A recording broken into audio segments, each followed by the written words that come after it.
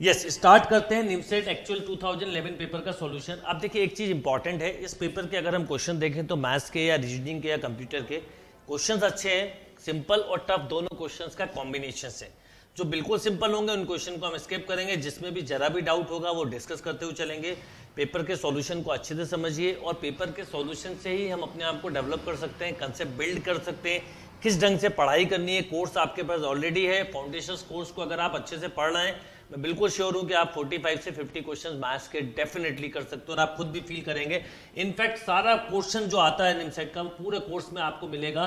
कहीं कोई अलग क्वेश्चन नहीं आएँगे। आप ये क्वेश्चन देखें तो आप polygon has 44 diagonal the number of it sides अब आपको पता है कि डायगनल्स की बात कर रहे हैं तो इसके लिए फॉर्मूला एक सिंपल होता है, जो मैंने आपको बताया था। कभी भी पॉलियंस में अगर डायगनल पूछें तो एक चीज़ इंपॉर्टेंट है जो याद रखनी है आपको, वो क्या साइड्स नहीं होना चाहिए।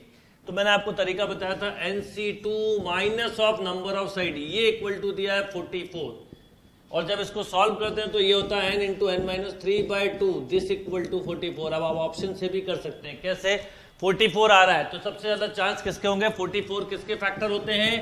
11 इंटू फोर के होते हैं तो 11 रख के देख लीजिए, अगर एन के प्लेस पे 11 रखा तो 11 11 minus three eight eight by two four देखिए आ गया आंसर तो this is the right answer. अगर आपके पास टेक्निक है तो आप क्वेश्चंस को बहुत क्विकली सॉल्व कर सकते हैं। Right? Note down this question. Question number second देखिए क्या है। Let X be the universal set X जो है, वो यूनिवर्सल सेट है। A and B if n A equal to given है 200 एन बी गिवन है 300 n A intersection B is also given 100 then आपको बोला n A complement intersection B complement. Logically देखिएगा X universal set है। अगर आप conceptually समझें तो कुछ ऐसा है। सपोज़ ये ए है ये बी है सेट थ्योरी का क्वेश्चन है कॉमन हंड्रेड है। ए में टू हंड्रेड है तो ये हंड्रेड हो गया। बी में थ्री हंड्रेड है तो टू हंड्रेड हो गया। राइट right, आपको एक चीज़ बोलिए कि एन एक्स कितना होगा। आप देखिए एक चीज़ समझिए n A complement union B complement equal to आपको गिवन है 300 ये गिवन है 300 अब n A complement union B complement equal to होता है n X minus n A plus n B minus n A intersection B अगर आपको basic फॉर्मूले क्लियर तो कभी भी प्रॉब्लम नहीं हो सकती। तो 300 minus equal to n X minus अब देखिए सब का सम आप निकाल चुके हैं 300 400 ये 400 ऐड हो गया तो एन एक्स कितना आ गया? एन एक्स आ गया 700 तो 700 is a right answer right note down this question yes next question देखते देखिए थर्ड क्वेश्चन क्या और एक बात और बोलूँगा अभी हम पेपर जो है ऑर्डर लाइन से कर रहे हैं पर आप हमेशा सिंपल टू टफ ऑर्डर में करिए। Selection of question is more important जितना अच्छा सिलेक्शन ऑफ़ क्वेश्चन होगा उतना टाइम सेव होगा। Second thing writing work minimise करिए। एवरी स्टेप सेव 20 सेकंड मैंने आपको जो टेक्निक्स बताई, उन टेक्निक्स को बहुत अच्छे से यूज़ करिए। अब देखिए क्या है अगला question in a college of 300 student एक कॉलेज में 300 स्टूडेंट है। Every student read five newspaper in a college of 300 student every student read five newspaper and every newspaper is read 60 student number one her student five newspaper read करता ही करता है। Logically समझिए कि every student read five newspaper यानी मेरे पास मैं पाँच न्यूज़पेपर रीड करूँगा, ऐसे thirteen student five five newspaper read करेंगे। अब एक और बात बोलिए। और जो पेपर लाइब्रेरी में आ रहे हैं, हर पेपर को एटलीस्ट लिखा हुआ देखिए। And every newspaper is read by sixty student यानी हर पेपर सिक्सटी स्टूडेंट रीड कर रहा है। Right right? तो सिंपल लॉजिक है, पहले अगर हम देखें तो लॉजिकली अगर एक स्टूडेंट एक न्यूज़पेपर पढ़ता तो 1500 न्यूज़पेपर लगते थ्री हंड्रेड इंटू फाइव अब हर न्यूज़पेपर को 60 स्टूडेंट रीड कर रहे हैं तो डिवाइडेड बाय 60 कर दीजिए।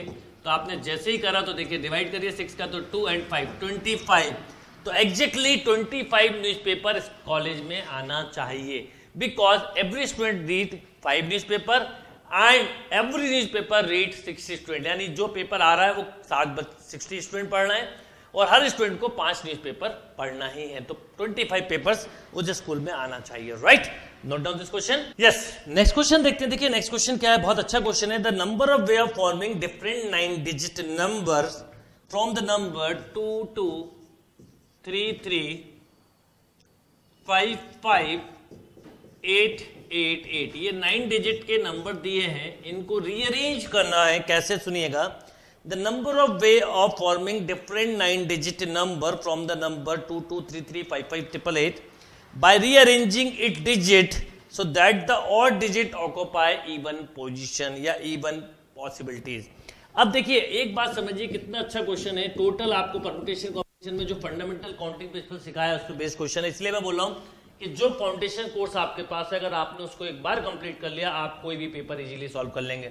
One two three four five six seven eight nine अब देखिए, ये इवन पोजिशन है और ये ऑड पोजिशन है। ऑड पोजिशन पे आपको इवन नंबर रखना है इवन पोजिशन पे आपको ऑड नंबर रखना अब आप ध्यान दें तो ऑड नंबर फोर ही है।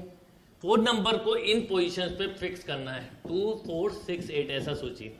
तो फोर नंबर को अरेंज करने के लिए फैक्टल फोर जो नंबर रिपीट होते हैं, उनका क्या करते हैं? Divide two time three two time five into odd number factorial five ये टू टाइम डिवाइड हो रहा है, ये थ्री टाइम सॉल्व कर दीजिए ट्वेंटी फोर बाय फोर यानी सिक्स ये हो गया सिक्स टू ज ट्वेल्व और ये हो गया वन ट्वेंटी यानी इंटू कितना हो जाएगा? देखिए फाइव फोर तो ये जाएगा टेन तो टोटल आंसर आ गया सिक्सटी राइट? क्योंकि ये सिक्स और टू ट्वेल्व हो जाएगा, ये वन ट्वेंटी हो जाएगा तो डिवाइड कर दिया। तो correct answer will be sixty right note down this question yes next question देखते देखिए फिफ्थ क्वेश्चन ये क्वेश्चन बिल्कुल आपको रिपीट हो गया है। इस तरह का क्वेश्चन आपने प्रैक्टिस टेस्ट में भी किया हुआ है कि एंटी एयर गन इसकी प्रोबेबिलिटी शॉर्ट्स की दी हुई है। शॉर्ट वन की प्रोबेबिलिटी है पॉइंट फोर सेकेंड शॉट की प्रोबेबिलिटी है पॉइंट थ्री थर्ड शॉट की प्रोबेबिलिटी है point two and fourth shot की प्रोबेबिलिटी है पॉइंट वन फोर्थ शूट आपको करना है respectively the probability that the gun hit the plane अब probability gun hit the plane तो ये एटलीस्ट वन माइनस हो गया तो one minus first shot second shot third shot and fourth shot इसका निगेशन लगा लें, यानी one minus one minus point four one minus point three one minus point two and one minus point one. इसको चाहे तो ratio में लिख ले तो ज़्यादा आसान होगा आपके लिए। Right note down this question next देखते हैं, देखिए question number six six question क्या है, समझते हैं?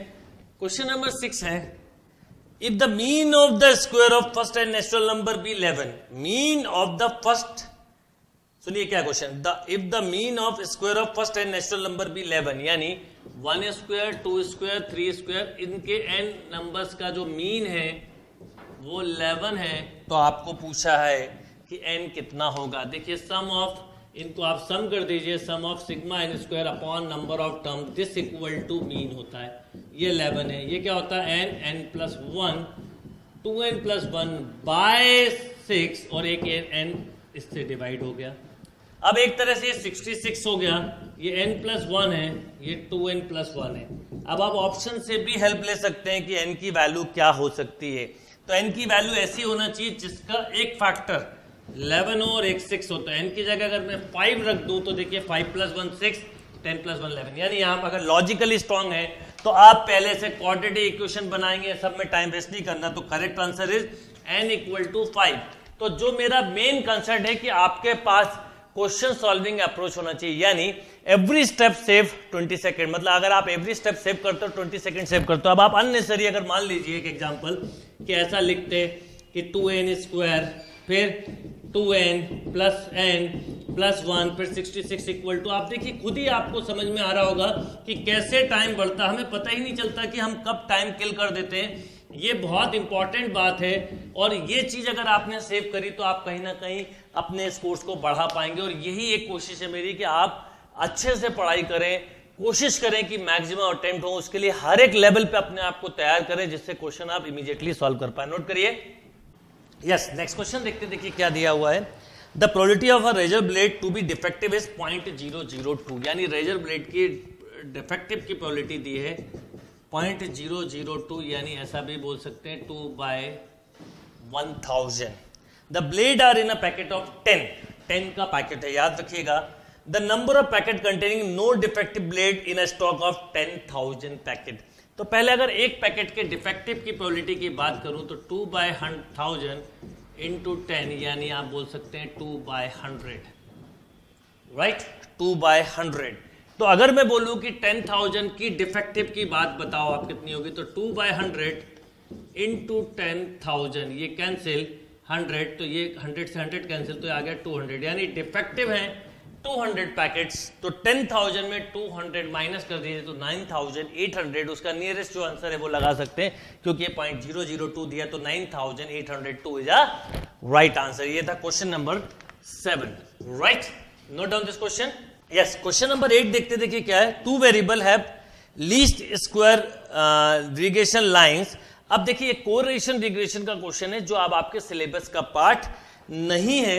याद रखिएगा, ये पहले सिलेबस का पार्ट था, अब नहीं है। एक्चुअल में इसको करना ये होता है कि एक लाइन ये दी हुई है, एक लाइन ये दी हुई है। अब आपको रिग्रेशन कोफिशियंट बताना है तो आपको बी बाय एक्स निकालना होगा। बी एक्स वाई निकालना होता है और आर होता है root of b by x into b x y and remember जब भी आर की वैल्यू होती है, वो ज़ीरो से वन के बीच में होगी। राइट इनफैक्ट आर की वैल्यू अगर हम लॉजिकली देखें तो माइनस वन से प्लस वन के बीच में होती है।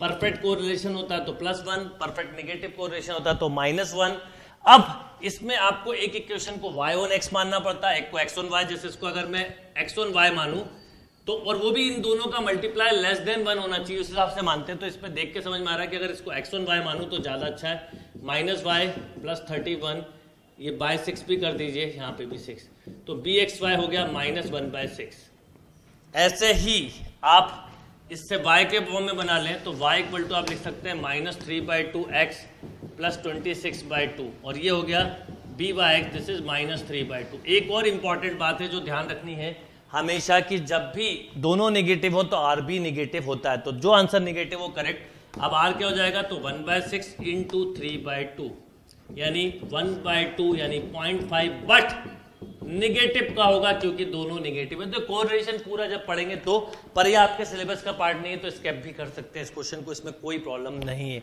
Note down this question yes next question देखते हैं। देखिए क्या है? Car complete the first half journey एक कार है जो first half journey A to B v one velocity से कवर करती है। And second half journey b two velocity से करती है। Then average velocity of the car for the whole journey याद रखिएगा यहाँ पर, अगर इक्वल डिस्टेंसेस हैं तो हमेशा हार्मोनिक मीन लगेगा। ये मैंने आपको पढ़ाया हुआ है two b one b two upon b one plus b two याद रखिएगा, क्योंकि जब दो पार्ट इक्वल है, जितना गए उतना आए तो एवरेज स्पीड अर्थमेटिक मीन से नहीं हार्मोनिक मीन से निकालना है। Two b one b two upon b one plus b two right yes next question देखते देखिए क्वेश्चन नंबर टेन क्या है? क्वेश्चन नंबर टेन है the mean of first and natural number is equal to mean of first and natural number equal to n plus seven by three then n equal to तो simple है mean of first and natural number the mean of first and natural number sorry first and natural number बोला है। The mean of first and natural number is equal to n plus seven by three then n equal to तो first and natural number का summation क्या होता है? N into n plus one by two यानी इसका mean n plus seven by three दिया है। ये कितना दिया है?